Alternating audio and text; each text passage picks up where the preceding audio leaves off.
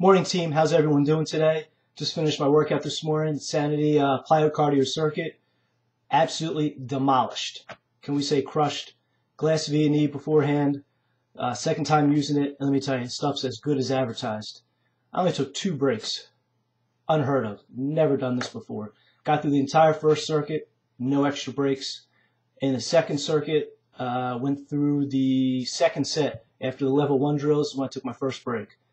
Finished that set, went to the third final set, and had to take two breaks that time, and that was it.